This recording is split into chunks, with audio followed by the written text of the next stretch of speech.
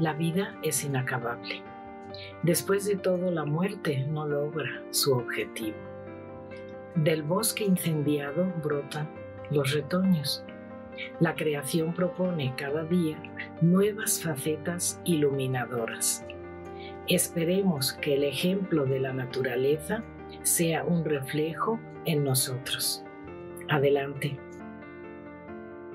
Poeta, ensayista, novelista, cuentista y docente, Angelina Muñiz Uberman es una de las escritoras más importantes de nuestro país. Especializada en la literatura hispanohebrea medieval, el pensamiento y artes del siglo XX, así como en el manejo de la lengua castellana, el trabajo de la doctora Muñiz ha sido fundamental para la comprensión y recuperación de la historia del exilio español en México y los estudios de la cultura sefardí.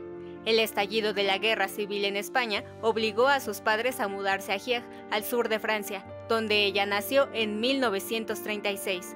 Tiempo después se trasladaron a París, a Cuba y posteriormente desembarcaron en el puerto de Veracruz en 1942. A la edad de seis años, Angelina Muñiz comenzó a vivir en la capital mexicana, lugar que además de un hogar, se convertiría en un espacio clave para su trabajo.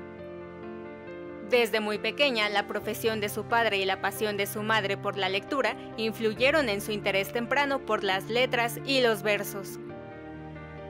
Mis padres eran grandes lectores, mi padre era periodista y escritor en España y mi madre también gran lectora, entonces la imagen que yo tengo de la infancia ya de la llegada a México es estar sentados los tres, cada uno en una silla o sillón, y con su libro en la mano. De, además, mi madre me hacía aprenderme de memoria poemas de García Lorca, de Juan Ramón Jiménez, en fin, de los autores de la época. Posteriormente, como parte de su profesionalización, estudió en la Universidad de la Ciudad de Nueva York y en la Universidad Nacional Autónoma de México. Realizó estudios de posgrado en las universidades de Pensilvania, Nueva York y el doctorado en letras en la UNAM.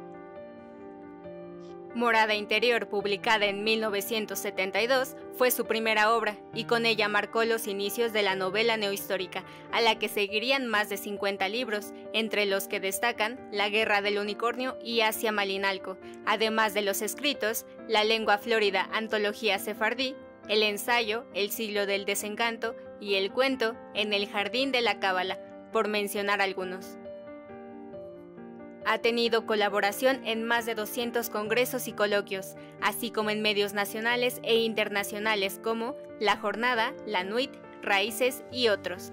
El común de sus textos son resultado, en sus palabras, de la experiencia del triple exilio que la llevó a hacer aportes significativos a la lengua y literatura castellana, como parte de la construcción de su propia identidad, temática que la haría acreedora de importantes galardones como el Premio Sor Juana Inés de la Cruz y el Premio Javier Villorrutia, además de reconocimientos como ser miembro honorario del Seminario de Cultura Mexicana y miembro de la Academia Mexicana de la Lengua, entre 30 distinciones más en reconocimiento a sus diversas contribuciones en la cultura hispanoamericana, la mística sefardí y la resignificación de la experiencia del exilio, visiones que han fortalecido nuestra literatura y la del mundo, Angelina Muñiz Uberman es candidata a recibir el doctorado honoris causa por la Universidad Nacional Autónoma de México.